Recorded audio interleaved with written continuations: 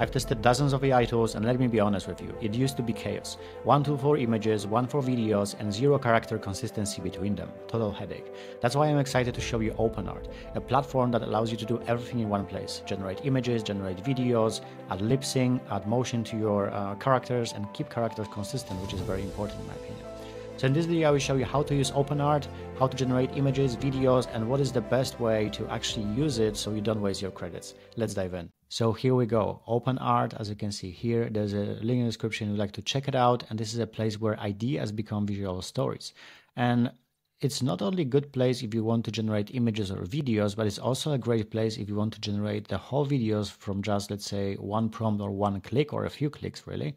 So we would like to discover how to do it. Make sure to comment down below and I'll create another video. We'll create a whole video with just a few clicks. So this is the whole website, very clean. It shows what you can do with this tool, but let me show you what it looks like inside when you actually create your account. So this is what you'll be able to see inside. Very clean design. Um, there are a lot of tools, as you can see here, lip sync, we have motion, we have video upscaling, chat to edit, edit image, image upscale, train a character so you can create your own characters and your own models. Then train a model image to prompt and of course videos and a few other things in between like for example stories what i was just telling you about. And as you can see people are creating quite interesting stories and long stories as well. So as you can see two minutes two minutes four minutes um here we have three minutes 34 seconds two minutes. So there's a lot of um, videos that people creating with OpenArt, but this is not the topic for this um, video. So the first thing is, of course, how to generate images. On the left side, you can see there is an option that is called image. When you click on it, you will be able to see all available models and also the content you can create. So as you can see here, here we have a few options. So of course, create image, edit image, chat to edit, character, and also bulk create. But in this case, we just want to check models. So we click here on switch and here you can see all the models. So we have Seedream 4.0, Nano Banana, Flux Dev, Flux Kontext, Flux Pro, Flux Kontext Max, and a few other models. For example, GPT Image, Seedream, Qwen, Ideogram. So you will find literally anything that you need. Um, you have also more like um, anime style, like for example, Pixel Wave or OpenArt SDXL. So you will find um, whatever you need, you will find it here. Or for example, OpenArt. This one looks interesting in my opinion. So you pick your model. Let's say we pick Seedream and then uh, you, every model has a little bit different settings. So here you can write your prompt. You can also create a prompt for, from the image. So this is quite interesting. We can just upload an image here um, and then we can just use a model that we'll be using for writing this prompt and it will write the prompt for you. So this is in my opinion a very nice feature that will help you with creating your prompts if you really don't know how to create prompts properly. Um, you can also use image reference. You can use up to 10 images. And then you also have settings. So aspect ratio, in this case, we have auto, square, vertical, horizontal, widescreen, tall, slim, wide, cinematic even. So you will find everything that you need, right? Then resolution, in this case, we have 1K, 2K, or 4K, and number of images. So we have 1, 2, 4. So this is in a nutshell what you can do. Now, to create image, you just need a prompt. And I want to test a few models. So first, um, we have this model here. We have very simple model. We have futuristic soldier in advanced armor with high-tech weaponry. And first, I created this image with Seedream 4.0 and this is a nice generation I would say. We have another image as well which is this one. Both the, both of them look good. Then I did the same thing but with a different model.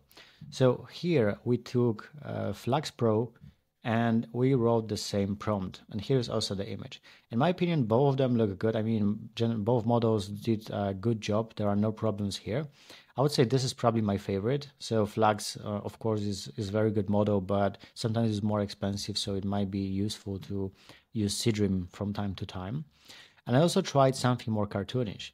So I just pick a fantasy model, the same prompt, and as you can see, it's more like fantasy. Um, so it, it, could be more like a model from a game, um, or let's say from um, some kind of anime, something like that.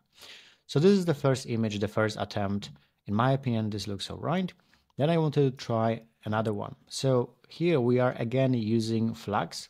And here is also the prompt. So the prompt is quite long. So we have this small red wooden boat that is resting on a dark volcanic beach. And we also have, uh, is in the center of the image. So this is a very long prompt. And the only thing that is weird is actually this black um, area here. But let's say it's, it's still good. It follows the, uh, the prompt properly.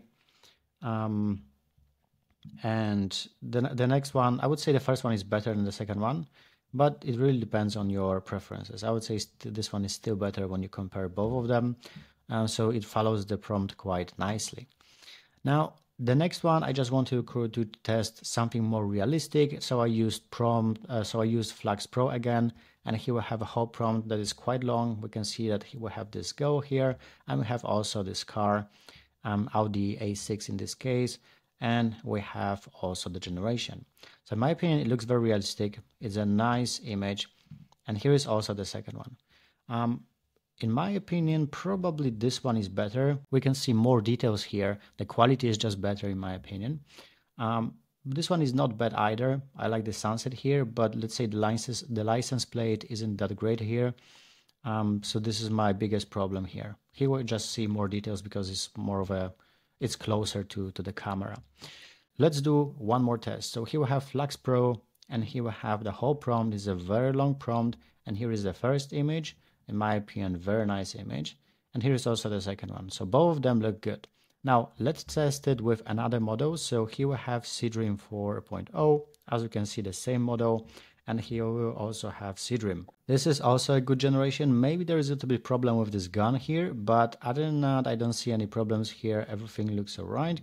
And the second one, um, again, uh, everything looks all right except for this gun. The position of this gun uh, is not that great in my opinion.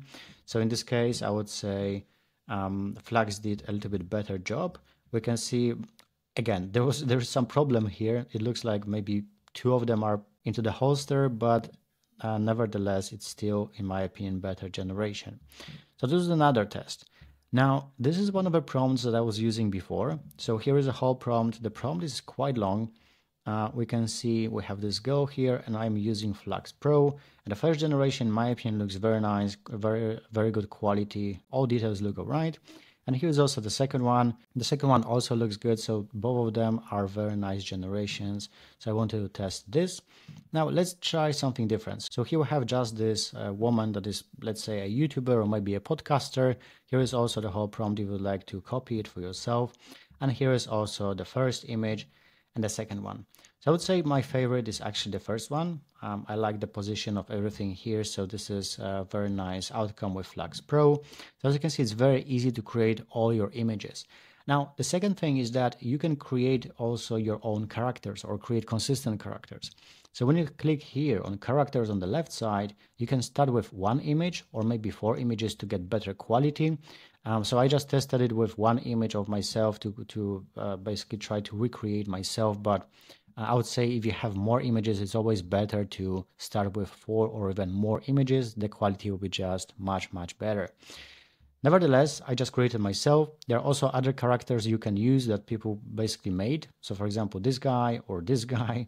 So there is a lot of characters that you can use. So all of them um, you can just reuse for your content. It's completely fine. People you people created them so you can use them as well. So this is how uh, you can basically use any of these characters. You even have the, uh, Deadpool here, which is quite interesting. Um, so this is how to create your character. You just click here, you upload your image, and then you add a name. So you can just say uh, like Emma, you add an image, and then that's it. And you can create your first character for free. As you can see right now, it says 500 credits. But before, when I was creating my, my first character, which was basically me, um, then it was just for free. So this is a very nice option to just get your character right from the first time. And here's also how to create your character. So what kind of images are good, like for example, full body, half body, or this half body. Um, so this is how you can create your characters. Very easy, very straightforward. And then you can create also images uh, and even videos if you would like to. But I just wanted to see what it looks like. So I just had one image, nothing more. And as you can see, here is a prompt. So I'm sitting at a desk, medium body shot facing the camera directly in a YouTube studio setup with lights and background. The first one looks alright. It looks kind of sim. This guy looks kind of similar to me. So this is a nice generation. Although if I would upload more images, it would look even more realistic, but it's not bad, I would say. Here the second one. It looks alright. Um, let's say all the key details are fine. There are a few mistakes that I can see, but nevertheless, it's still um, alright considering that I just uploaded one image and this is what I'm getting. So in my opinion, this is pretty much no-brainer if you want to create, for example, thumbnails. This is, my opinion, the best thing. If you want to create thumbnails, you just create, let's say, upload four or five images of yourself, and you can create thumbnails very easily without, you know, ever a need to to uh, you know to pose yourself or to have a good hair day or whatever.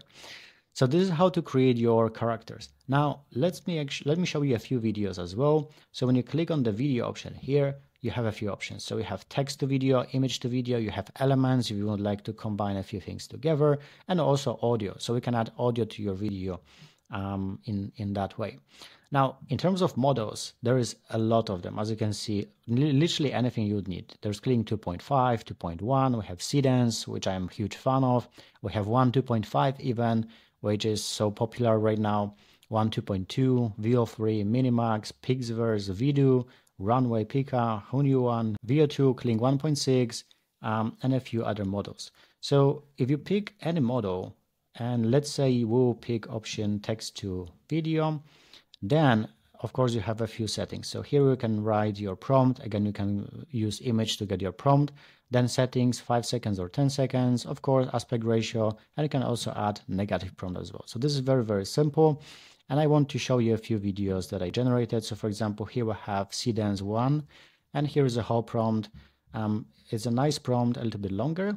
And here's also the video. In my opinion, this video looks nice. It exactly follows the prompt. So this is very, uh, you know, easy creation, very straightforward. You can later add it to your albums or maybe publish or download or reuse settings. So you have always a few options with your generations. Now the second one was just an image, just a video of this guy. Again, I, I use Seedance, uh, no image, just text to video, and the prompt is very simple. Um, we have this guy that is basically snowboarding. The quality is great. It looks very realistic. And then I also show you how to add sounds to your videos because it's very, very easy. Now here we have one more video where I actually use Kling 2.5 and here is a whole prompt. In my opinion, this is a very nice video. I'll probably use it in my intro as well. So as you can see, very nice generations, all the latest models, everything in one place with one subscription. And the last thing is that you can add uh, sounds to your to your videos as well. So when you have your video, it's pretty easy. And this is what it looks like when you have already sound included in your video.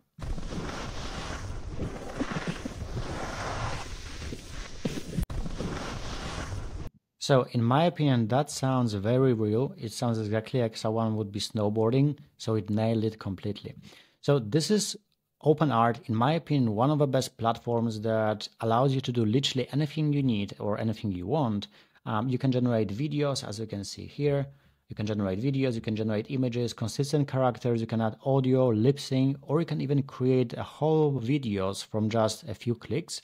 So if you'd like to test this tool by yourself, there's a link in the description and you would like to see how to generate whole videos and stories just from a few clicks, make sure to comment down below, subscribe to this channel, like this video, and if I see that enough people want to see it, I'll record another video on how to create those videos. And of course, if you would like to generate images, videos, discover the latest AI tools and monetize AI fast, make sure to watch the video you can see on your screen right now. Thank you for watching and see you in the next one.